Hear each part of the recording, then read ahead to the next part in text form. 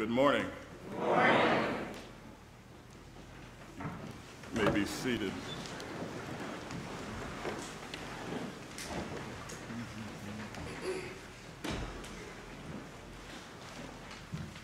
Give an honor to God and to Father Ben, to my pastor, Reverend Zimmerman, and friend in Christ, Brother Randolph, Reverend Randolph, and to all of you who are gathered here today, all the deacons and wardens, and all you lovely people who came out to be tortured this morning.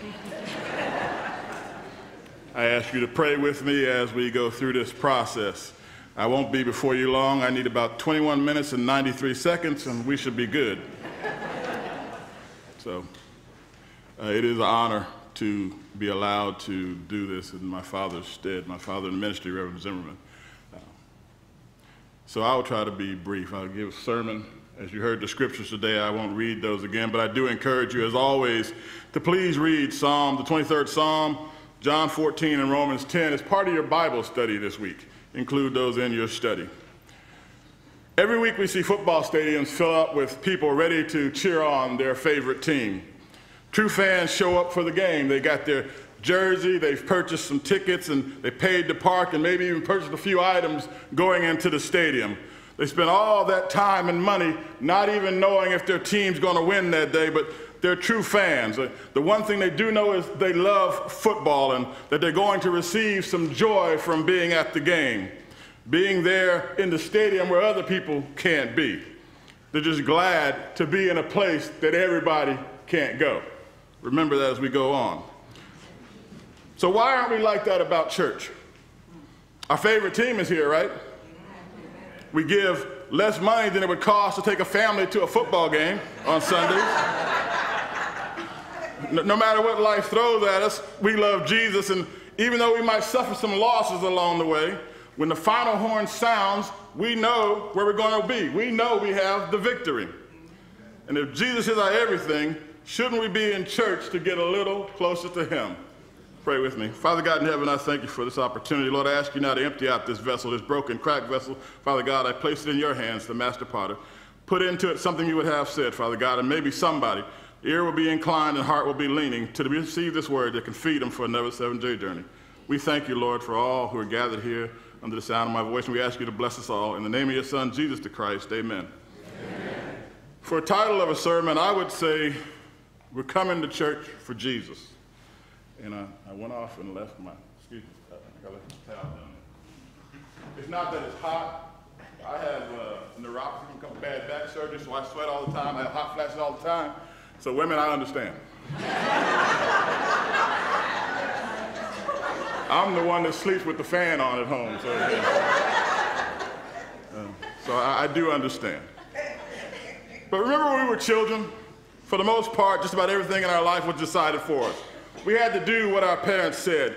We didn't ask out loud if we knew what was good for us, but we did what our parents said do. Do your chores, go to school, come eat dinner, turn off the TV, whatever our parents told us to do, we did it. And we grew older, they expected us to start figuring some things out on our own, to think and make good choices and good decisions. They still told us what to do, but they started giving us some independence. They started allowing us to do what we thought we should do. They started to trust us to live our lives behaving like we had been raised with some sense, like we had some good home training, as they say. But we were still doing what we were told to do within that parameter. But did we really understand what we were doing? Some results were obvious. It's you work hard and you gain a manner of success. You treat folks with respect and you get respect in return. You take care of your things and they'll last a little longer. You study hard in school and you should get good grades. So, what about church? Most of us were taken to church as a young child and we never really gave it any mind. As we get older, many of us were dragged to church, made to come to church, almost forced to come to church. We knew we should go to church, but we started to question why? There were other things that we wanted to do on Sunday. The game of life was beginning to happen in the ways that we wanted it to happen. We had friends and boyfriends and girlfriends and school functions and football games and soccer games. Life was beginning to become a distraction to wanting to go to church. As we got older, some of us just stopped coming at all. We couldn't find a compelling reason why we should keep coming to church. After all, we missed a couple of Sundays, but we still had food to eat. missed a couple of Sundays. We still had some clothes to wear. We may have had some times of trouble and, and problems that come, but they passed and we didn't go to church. So why do we really need to come to church? If we can still live like everybody else and not come to church, what reason do I have to go to church? So what reason do you have? Good question. Thanks for asking. I have to tell you that on first glance, you might be hard pressed to find a reason to come to church. After all, what do you really need once you've accepted Jesus Christ as your Lord and Savior? You've been saved. The good book says that those who call on the name of Jesus shall be saved. You've already received the ultimate gift of salvation, and if you've already received the ultimate gift, why keep coming back? Should you come to church because of the music and the singing? Should you come to church because you're a deacon or you're on the vestry? Or maybe because you're a ringer of the carillon? Or maybe because you're turned to be the cantor this week? Should you come to church because you're part of the pastor's aid, part of the kitchen ministry, or the trustee ministry? Is it a title that makes you come to church each Sunday? Do you come to church because you feel guilty when you don't attend church? You don't really, really know why you feel guilty, but maybe because as a child you were raised to come to church. Train up a child in the way he should go, and when he is older, he will not depart from it. Or maybe you just want to put a check mark in the box, hoping that God will see you in his house down here and allow you in his house up there. or do you come to church because the scripture says it's a good to fellowship with your brethren, not forsaking the assembly of ourselves together as the manner of some, but exhorting one another, and so much the more as you see the day approaching? Or because iron sharpens iron, Iron sharpens iron as a man sharpens the countenance of his friend, because fellowship and testimony serves to strengthen our relationship with Jesus. Or should you come to church because you need to learn the word so you can be effective in your ministries?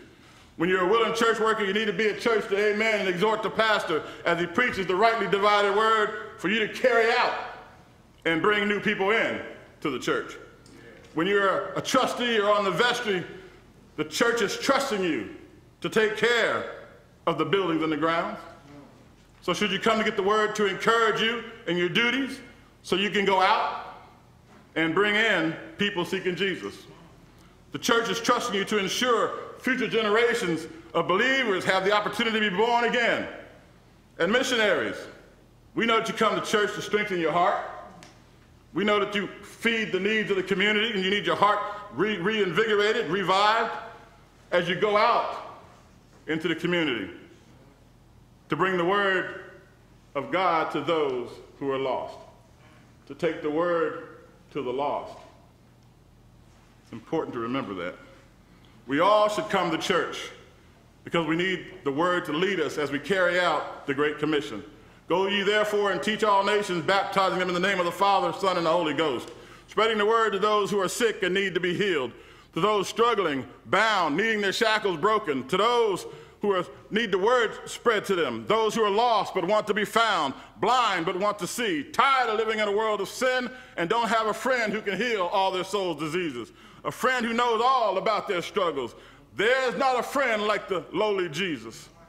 But some of us come to church every Sunday just to hear the word. How can they hear without a preacher? But we come with no plans to do anything with the word that we hear. We just want to hear the word so we can put it in our back pockets take it home, and throw it in our junk drawer when we get back home with not a thought about spreading the gospel. We come to church because we hope it will make us better just by being here. And unto one he gave five talents, to another two, and to another one, to every man according to his several ability, and straightway took his journey. Should we come to church and get our talents, our blessings, and our gifts, and then go bury them in the dirt? Or should we go forth and spread our talents, our blessings the best we can. God has blessed all of us with some gifts. Some of them may be great, some of them may be small, but they're all gifts from God, and what we do with that gift is the measure that God will bless. So, do you know why you come to church each Sunday? If it's for the gossip, I'm here to let you know that you'll find plenty of gossip on the road to hell. If it's for a position or a title or for self glory, I can guarantee you that your position won't get you through the gates of heaven if God is not part of your plan. If you come to church for anything besides spiritual fellowship and increased knowledge to help you form a deeper, truer, stronger, and more complete relationship with Jesus, then you might just be in the wrong place. If you didn't come for the relationship with Jesus, you might as well have stayed on your road to hell. See, Jesus doesn't mince words. It says, No man come unto the Father except by me. No man can come to the Father except by Jesus. You need to come to church for your relationship with Jesus, to rid yourself of the burdens of sin, to find comfort where the comfortless tread, to find peace where others find no peace, to find rest where the sinners will not be able to cease from their toils. Jesus is the way. You need to know that, and that should be why you come to church Sunday after Sunday. See, Jesus has set a place for us in his Father's house. You should come to church on Sunday so that you know your future address because this world is not your home. Jesus has made the trials and tribulations of this world just a passing ground. So that you know that Jesus died on the cross and he was raised from the grave by the glory of his Father. And now he sits on the right hand of the throne waiting for you and me to come home. See, I believe each time one of us steps into church, Jesus places a jewel in the walls of the holy city, the New Jerusalem. Every time we overcome the influence of the outside world, the worldly desires, every time we assemble in Christian love, every time we fall on our knees and pray, every time we try to live more Christ like, every time we cry out to Jesus for help, every time we humble ourselves and our neighbors, every time we love our neighbors like we love ourselves, every time we bend to help someone who's fallen, Jesus adds another jewel to the wall. And when enough precious jewels have been added, I believe that Jesus will look upon us and say, Well done, my good and faithful servants. That's why Jesus gives us peace in troubled times. In the midst of racial discord, sexism, wars, and rumors of war, we find peace. He maketh me to lie down in green pastures. No more worried about mental illness and drug addiction. Ye, yea, though I walk through the valley of the shadow of death, no more fear about road rage and mass shootings. I will fear no evil, for thou art with me. No more pains, no more isolation, separation, and depression. Thy rod and thy staff, they comfort me. No more enemies to bother you, to press down on you. No more liars and thieves. No more deceivers and users. Thou preparest a table before me in the presence of mine enemies. Countless blessings, food to eat, clothes to wear, a place to lay our heads at night, traveling mercies and a measure of health. Thou anointest my head with oil. My cup runneth over the promise of eternal life, with my eyes fixed on heaven and my soul bound for the promised land. Surely goodness and mercy shall follow me all the days of my life, and I will dwell in the house of the Lord forever. I pray that you're coming to church for Jesus. We all have a choice. You can choose Jesus or you can choose the world, but you can't have both. You can have the cheap thrills of the world, or you can have Jesus and a new life. But if we want Jesus, we have to turn loose the world turn from our wicked ways and give ourselves completely to Jesus. We have to trust him as our Lord and Savior. Don't worry about where you've been or what you've been through. Just come to Jesus just as you are. Amen. He will never turn you away. He loves you. That's why he came from heaven and died on the cross. He died for you and for me. That's why he went away to prepare a place for us so that where he is, we may be also. Jesus wants you to come to him. A new life awaits you, but you'll never know it until you come to Jesus. Amen.